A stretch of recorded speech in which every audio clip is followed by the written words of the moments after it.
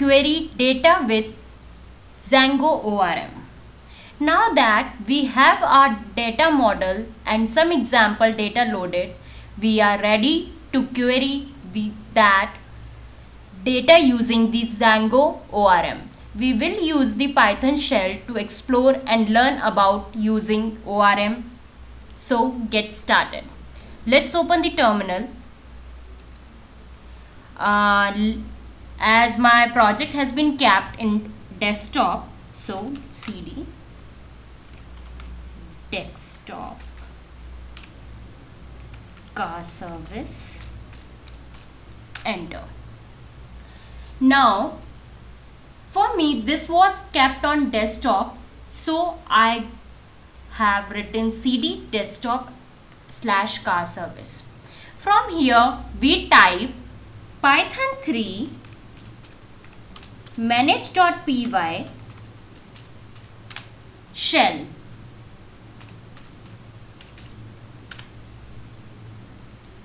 After entering into shell, first I will import a car model. So I will type from servicing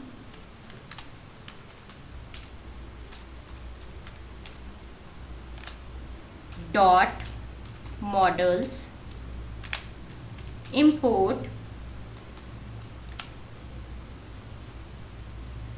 car. It should be capital C A R.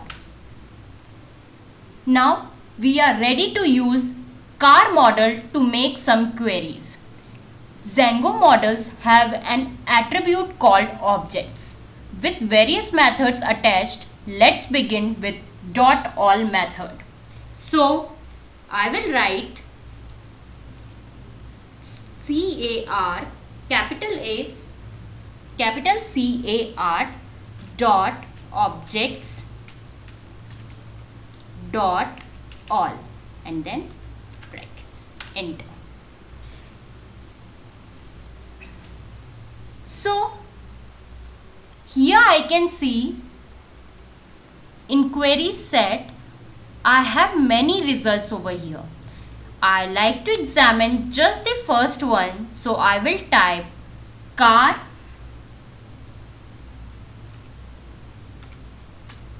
S cars equal to capital C A R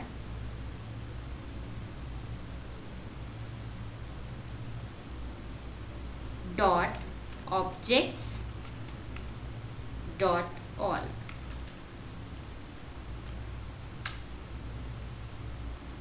Here inside I will type car equals car and then as I have written cars so so as to go get into this cars square bracket 0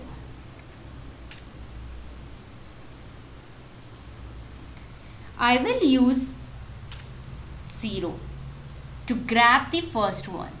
Since Python lists are 0, 0 indexed, the query set first item at 0 in the list.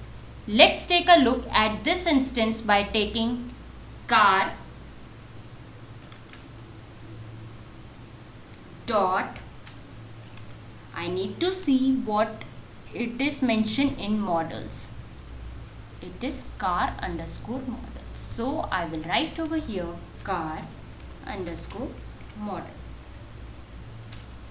Let's press enter. Wow. Now we got the model at 0 indexed Acura. Similarly we can type car dot description here I, I will not be mentioning car underscore because here it is given description. So I will be giving simply car dot description. Enter. I got the description which was in it in uh, for the zero indexed. So it's clearly given here. Now for this if I need to have its ID I will write over here car dot ID. Wow, it has 1. Similarly, I can also know car. I should know what it is return. Service type. So, car dot service type. So, I got the type P for platinum.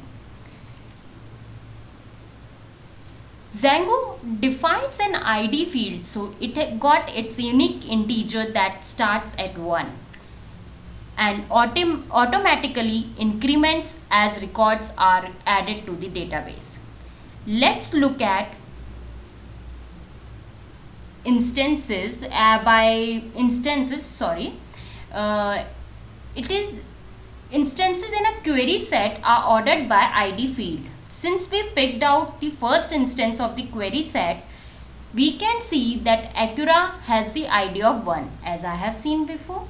Now that we have seen how to query all instances, let's take a look at querying just for one instance at a time.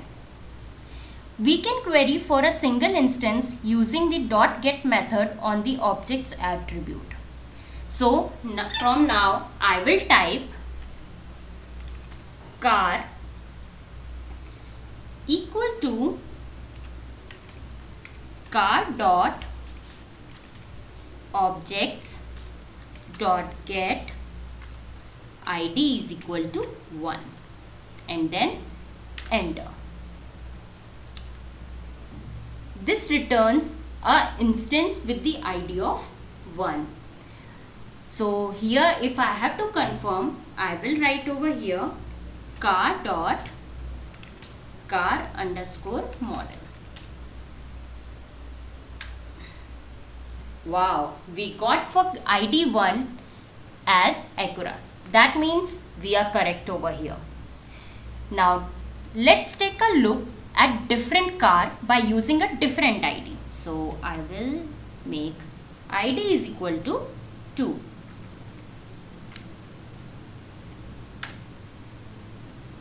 The car model. Now we got the vehicle with Ashok Leyland. Now we can type for the car that I don't know or I can say which doesn't exist. So I will type car.objects.get IDs let's say 997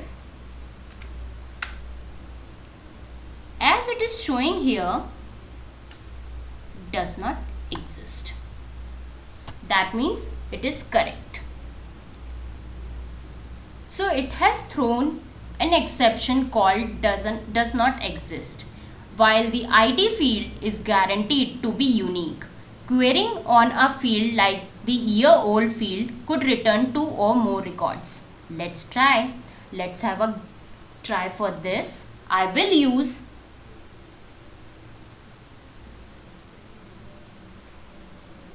car dot it should be car equal to capital car dot objects dot get. Here in argument I will give year old equal to 1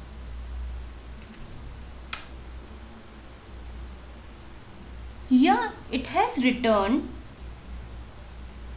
with multiple objects returned as I can see here. So with this it has given that with one age there are three cars over in our CSV data as we can see over here. Let's go with year old group this is our year old group. And here 1 2 3 that means we are correct over here. Generally speaking calls to dot get can raise these two different exceptions. That is does not exist as we have seen before and multiple objects returned. That is seen that we have seen now. As a result, our code generally needs to account for these possibilities. The dot get method is used frequently, especially for a page on a site that shows the details of one specific object. For unique attributes like ID, we don't have to handle the multiple objects returned exception.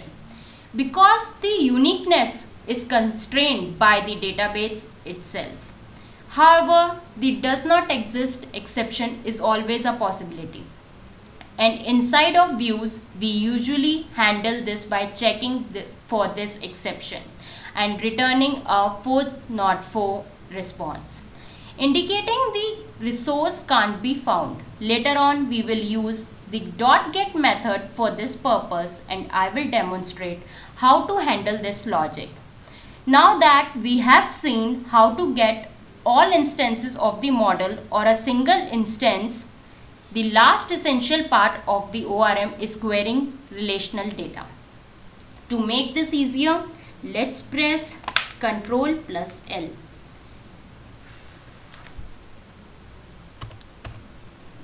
Mm-hmm. Okay. Now we can reuse the car variable we already have to look at some relational data.